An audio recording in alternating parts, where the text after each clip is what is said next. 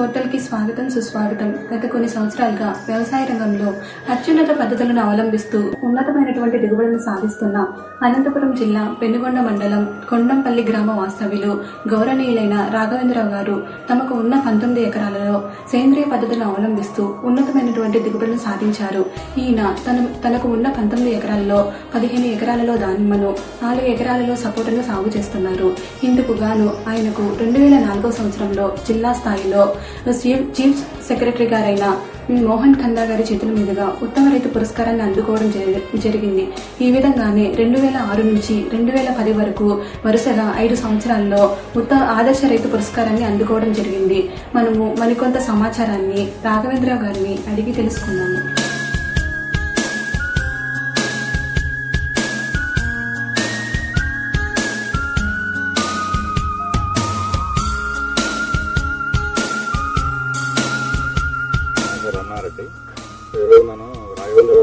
దానిమ్మలో progress farmers interview చేసుకోబోతున్నాం.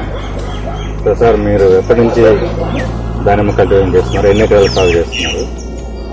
గత ఇరవై ఐదు సంవత్సరాల నుంచి సాగు చేస్తున్నాను మొదట గణేష్ రకము తర్వాత మృదుల రకము ఈ మధ్య కాలంలో ఒక పది సంవత్సరాల నుంచి భగవత్ రకము మొత్తం ఒక పదహైదు ఎకరాల్లో సాగు చేస్తున్నాను దానిమ్మ నాటే రోజు నుంచి జాగ్రత్తలు తీసుకోవాలి సార్ మీరు?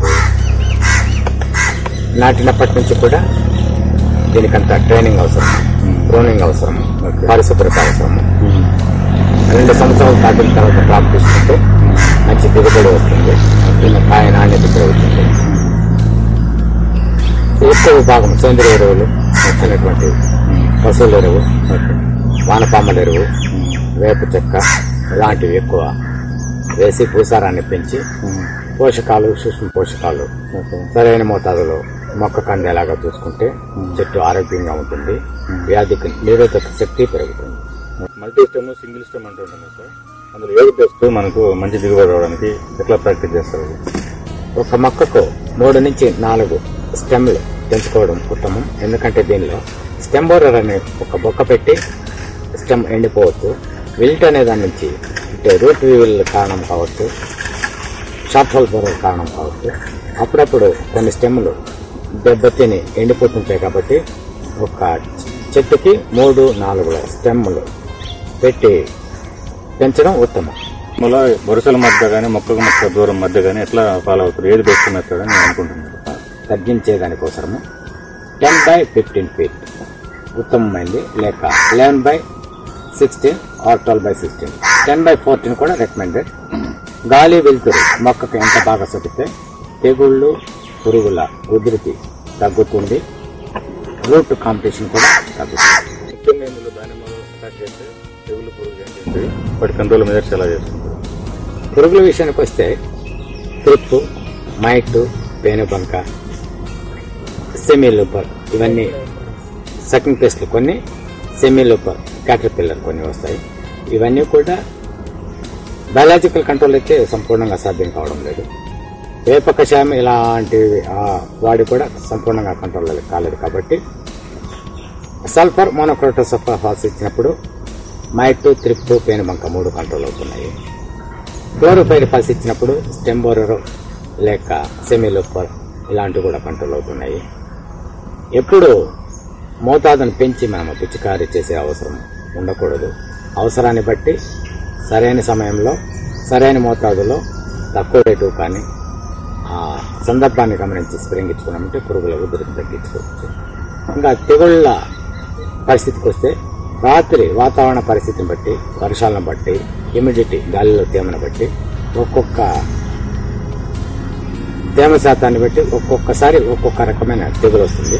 వీటిల్లో ముఖ్యంగా ప్రస్తుతానికి చాలా బాధిస్తుంది బ్యాక్టీరియా బ్లైట్ తర్వాత బెల్ట్ సర్కోస్పరా స్పాసిలమ్మా కోలిటోట్రైకమ్ హోమోప్సిస్ హోమోప్లైట్ ఇలాంటివన్నీ కూడా.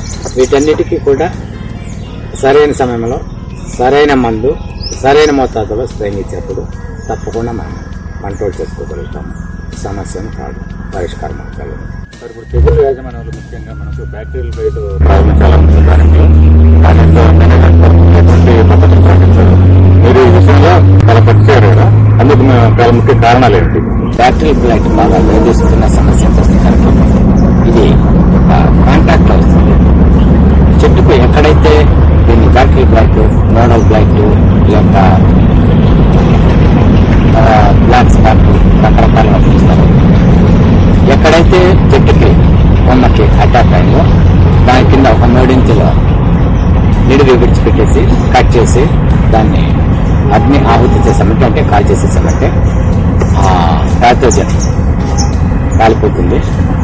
తర్వాత నాకు నష్టమేమీ దాని తర్వాత ఆకులోనో పువ్వులోనో కాయలోనో ఎక్కడైనా ఆ బ్యాక్టీరియా వచ్చినప్పుడు నేలకు రాలినప్పుడు ఆ ప్యాథోజన్ నెలల కొద్దీ భూమిలోనే బతికి ఉంటుంది కాబట్టి భూమి అంతా కూడా ఒక్కసారి లేకుంటే అవసరాన్ని బట్టి బ్లీచింగ్ పౌడర్ ఒక లీటర్ నీటికి ముప్పై గ్రాములు వేసుకొని మొత్తం భూమి అంతా తడిచేటట్లు చుట్టూ పెన్సిల్ కూడా నానేటట్లు ఒక్కసారి స్ప్రేయింగ్ వాటి అవశేషాలు లేకుండా బాగా తగ్గిపోతాయి. అది ప్రాథమిక చర్య. అంటే శానిటేషన్ ఇంపార్టెంట్. ఒక కేజీ సున్నము ఒక కేజీ మల్లితుత్తము నూరు నూరు లీటర్లో కలిపి తోటంతా కట్ చేయాల్సి ఉంటుంది. మనం ఎక్కడైతే కట్ చేసామో అక్కడ ఇన్ఫెక్షన్ కాకుండా ఫర్దర్ స్ప్రెడ్ కాకుండా బోర్డో పేస్ట్ అంటే చిక్కగా ఒక కేజీ మైలుతుత్తము ఒక కేజీ సున్నము పది లీటర్ల నీటిలో కలిపి చిక్కగా మలాం తయారు చేసుకుని అక్కడ పూజిస్తామంటే ఇన్ఫెక్షన్ అవుతుంది ఇప్పుడు బ్యాక్టీరియల్ తెగులు యాజమాన్యం కోసం Bordeaux mixture Bordeaux paste Blitox కాకుండా ఇంకేమైనా మీరేమైనా మందులు స్ప్రే చేస్తున్నారా? అటు అవి ఏంటి? మాకు వివరణ చెప్పండి. పూత దశ నుంచి చాలా జాగ్రత్తగా ఎందుకంటే బోర్డు మిక్చర్ స్ప్రేయింగ్ చేసినప్పుడు కాపర్ ఇంజిన్ ఉంటుంది కాబట్టి వేరే మందులు ఉంటుంది. స్టెప్టోసెక్లిన్ ఆరు గ్రాములు ఇరవై లీటర్ల నీటికి సిఓసి కాపర్ ఆక్సిక్లోరైడ్ అరవై గ్రాములు ఇరవై లీటర్ల నీటికి బాగా గాలితో కూడిన వర్షాలు వచ్చినప్పుడు అది గార్మెంట్ బ్రేక్ అయ్యి బ్యాక్టీరియా ఉదురుకు ఎక్కువ కాబోతుంది కాబట్టి ఒకసారి స్ప్రేయింగ్ ఇవ్వాల్సి ఉంటుంది. కాపర్ ఆక్సి క్లోరైడే రిపీటెడ్గా స్ప్రేయింగ్ ఇచ్చిన వల్ల క్లోరైడ్ ఇంజరీ ఉంటుంది కాబట్టి అవసరానికి. Streptocycline plus copper hydroxide streptocycline ఆరు గ్రాములు ఇరవై లీటర్ల నీటికి కాపర్ హైడ్రాక్సైడ్.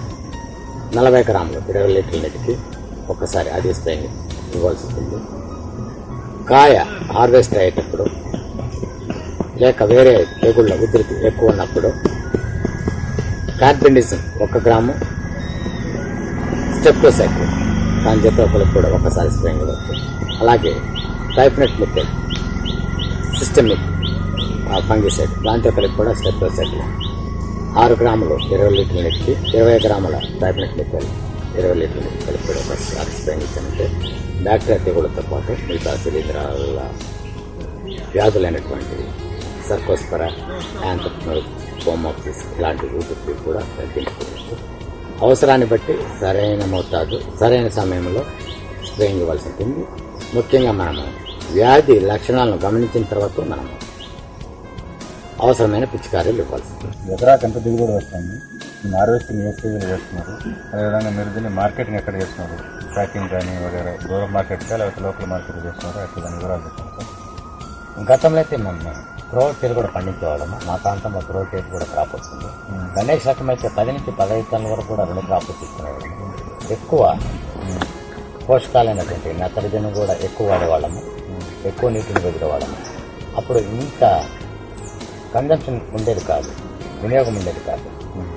ఆ వినియోగం లేనందువల్ల రేటు తక్కువ ఉండేది. ఈ మధ్య కాలంలో వినియోగం బాగా పెరిగింది. హెల్త్ కాన్సెప్ట్ పెరిగింది. మంచి రేటు వస్తుంది. కాకపోతే మేము ఇప్పుడు బ్యాక్టీరియల్ బ్లైట్ లేక తెగుళ్ళు పురుగు ఉధృతి తగ్గించే దానికోసము ఆరు నెలలు మొత్తం విశ్రాంతి ఇవ్వాల్సి ఒకే పంట తీసుకోవాల్సి ఉంటుంది. గతంలో లాగా ఇప్పుడు ఎక్కువ మోతాదుకు మించి నత్రజని ఎరువులు వాడము మోతాదు మించి నీటిని వాడము. ఎందుకంటే నీరు ఎక్కువ తక్కువయ్యేదానికంటే ఎక్కువైతేనే శిలీంధ్రాలు చీడపీడల సమస్య ఎక్కువ దానిమ్మకంతా కూడా ఒక నాలుగు వందల యాభై ఎంఎం రెయిన్ఫాల్ సరిపోతుంది. సహజంగా మనకు పడే వర్షం సరిపోతుంది. వర్షాకాలం అయితే ఎప్పుడైనా నీటి ఎద్దడి ఏర్పడినప్పుడు మధ్యలో కొద్దిగా నీరు వదిలితే సరిపోతుంది. గతంలో పది పదహైదు టన్ను గణేష్లు తీసుకునేవాళ్ళము. ఇప్పుడంతా కూడా ఎనిమిది టన్నులకి ఒకే పంట తీసుకుంటున్నాము. మగవా రకం అయితే ఒక ఐదు ఆరు టన్నులు తీసుకుంటున్నాము. గతంలో రెండు వందల మూడు వందల కాయలు కూడా ఒక చెట్టుకు పెట్టేవాళ్ళము. ఇప్పుడంతా కూడా అరవై డెబ్బై కాయలు ఒక చెట్టుకి నియంత్రించేసి మంచి నాణ్యత గల కలిగిన కాయల్ని పండించడానికి ప్రయత్నిస్తాం. దానిమ్మలో పూత వచ్చిన రోజు నుంచి మనం కాయ హార్వెస్టింగ్ చేసే రోజు వరకు ఎన్ని రోజులు పడుతుంది. ఆరోగ్యం చేసిన తర్వాత మీరు దాన్ని ఎలా ప్యాకింగ్ చేస్తున్నారు? బాక్సులు అదేవిధంగా మార్కెటింగ్ ఎక్కడ చేస్తున్నారు? ఈ విషయాల గురించి వివరించారు దానిమ్మకు ప్రపంచవ్యాప్తంగా మార్కెట్ ఉంది.